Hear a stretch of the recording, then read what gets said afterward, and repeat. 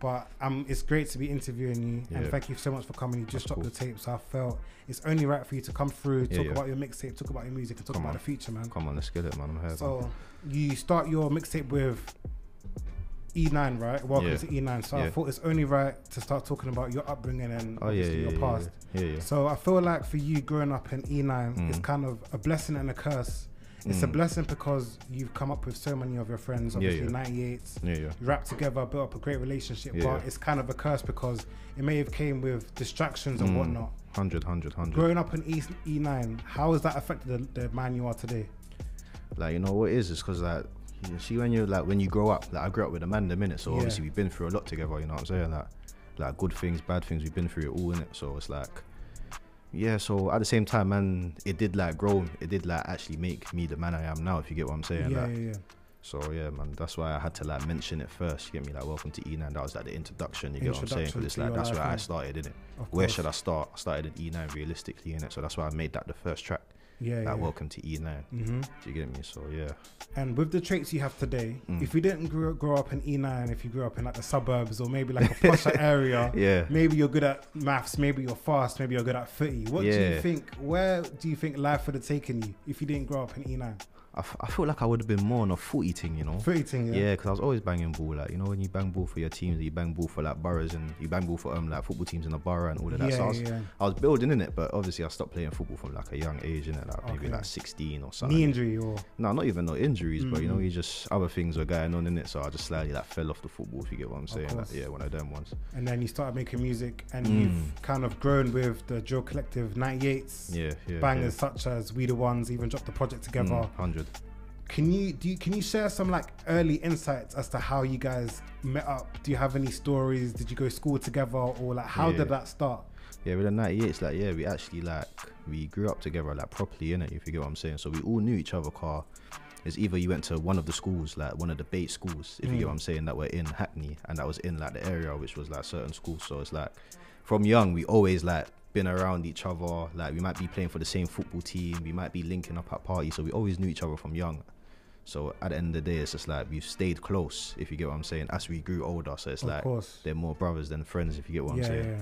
sort of thing. Yeah. So And it was always blessed from the start. You just knew you lot were going to be brothers, or was there a drama, or was it just straight? yeah, like one, two headaches and all of you the, the, the, headaches, boom, yeah, yeah, boom, it's boom, going to but happen, man. Yeah, naturally, innit? Of course. We're boys, innit? But you know, like, as you grow older, you start really start valuing each other more, and if you get Course, what I'm saying, yeah. innit? so at the same time, we're all trying to help each other, and that's what Yeah. really actually brought the Mhm. 98s, if you get what I'm saying. Like, yo, let's all do this, Of course. do this music thing, and just do it together, sort of thing. Okay. And you're Mm. also part of the collective's Groundworks, right? Would you Mm. say they're the most influential drill group of our time? What, um, Groundworks? Groundworks, yeah. Yeah, I can't lie. Groundworks done like things that a lot of people couldn't do. If you get what I'm saying, like Yeah. in, a, in a small space of time as well, Mhm. innit? So yeah, they done their thing on that. Groundwork Cypher, what a time to be alive, man. yeah, What's it like being in that room with them rappers just barring out? It kind of gives me like old school gram set days. it's lit, you know. I can't Mm. lie, cause it's like you don't know what a man's gonna come with. A man might come and drop some crazy verse, and you're thinking, yo, let me just get me switch Yeah, up the verse yeah, and drop yeah, this thing. So it's like, yeah, like it's proper lit in it at the same Mhm. time. So it was proper like, I'd say it was fun in it. You get what I'm saying? Like it's like everyone's just going in, everyone's saying, yo, let me get the mic. Da-da-da-da, dropping their thing. Next man's grabbing the mic. If Mhm. you get what I'm saying? So yeah. How is it being a part of that collective that has the artists such as Diggity, Potter Payper, Mm. Millions? Is it competitive or did they influence you to be, become a better rapper?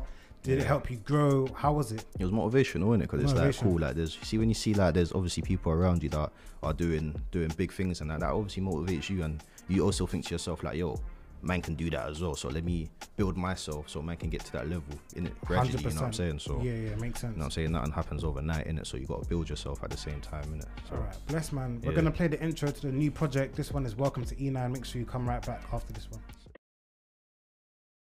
Jimmy with Welcome to E9 playing right now for you on Reprezent Radio, and I got Jimmy right in front of me, man. You just dropped your project, your Yeah, second yeah. project. Where shall I start? Yeah. Why the name? it's like, you know, I've got so much to say. It's like, where should I even start?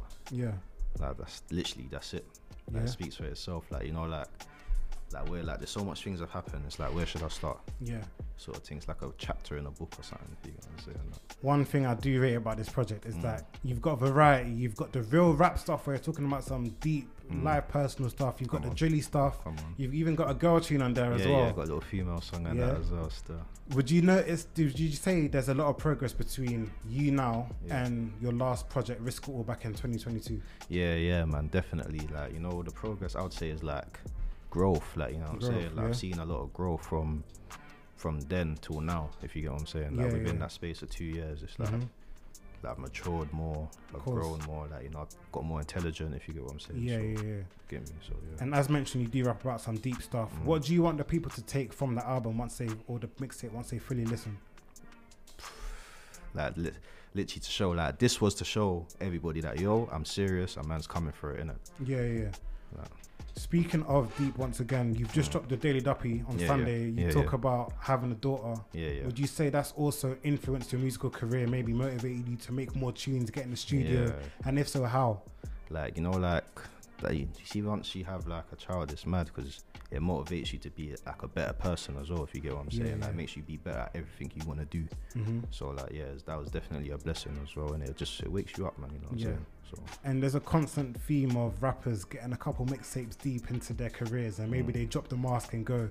Yeah. Like they just go bait face. Is that something that you're looking to do in the I near could, future? I could do you never know man you know what i'm saying Is there a reason why you wanted to be incognito? Maybe you want more peace, or you just wanted to stay away from it? Like, like bro i'm about in it so it's just like i like i like being private you get me i don't want to be like seen and known everywhere i go if you get what i'm saying Of course, sometimes yeah. you need peace you get me so Mhm. it's like if you know who i am you know who i am a lot of people know who i am already yeah, yeah. i'm not gonna lie but hmm it's like for everybody out there, like the general population, it's like I'd rather just boom, Course, cover yeah, up yeah. and that.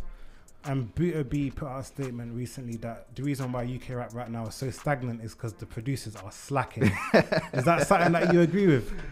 Oh no, man! You know what? There's too many producers out here to like, you know what I'm saying, to say um, that it's because of the producers. If you get what I'm saying, I Yeah. feel like it's probably just everything in general. You know what I'm saying? Eh, like Bear Man, I get in jail.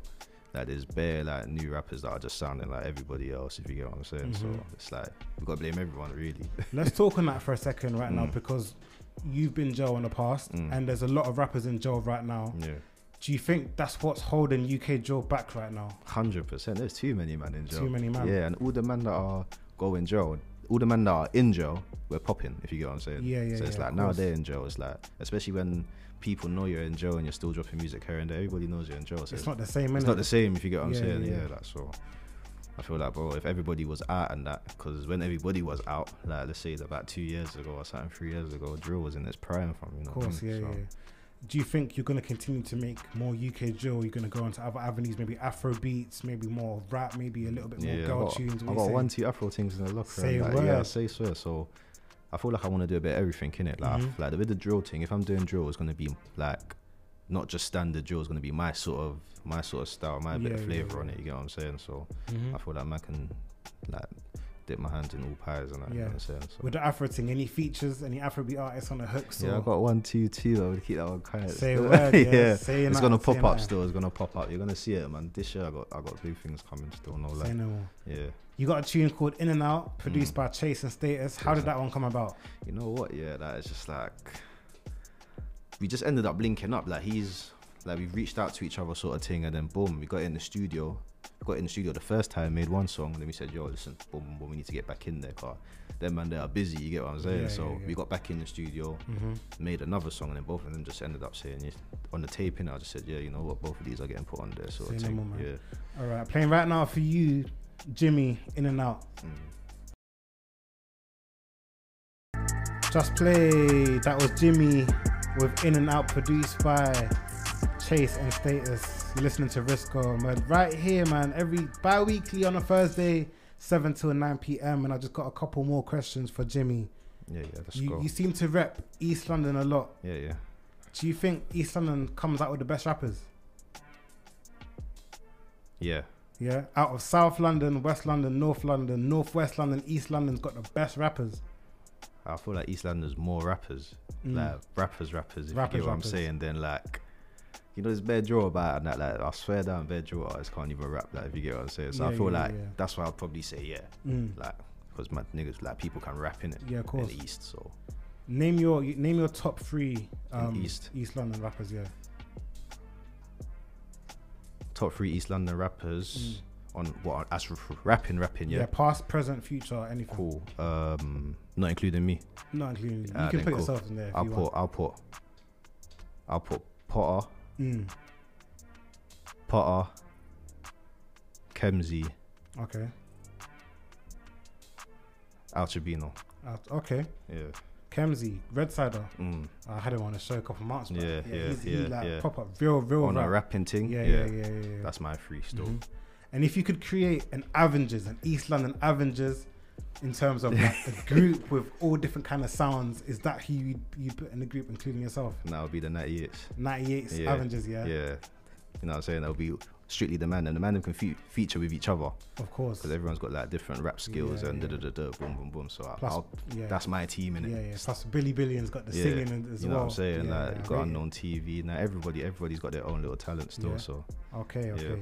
Jimmy, thank you so much for coming through today, man. Is there anything you want to tell the listener? Anything got Yeah. coming up? Any features? Any new music? Yes. Deluxe? So boom, I've got my project out now. Where should I start? That has literally been out for like a week and a bit. Go round that up. I've got some merch there as well. That is all, and that's a collaboration with Gabos, and that's all on the Instagram, Instagram, Snapchat, TikTok. It's all the same thing, which is only nine Jimmy with the number nine. Mm. So yeah, go check that out. Go pre everything. Grand Daily's out now, trending. Go round that up, man. You get me? Okay, say no more, man. Jimmy, thank you so much for coming through. This is Jimmy and Yeah. Potty pa- Potter Payper with Regina.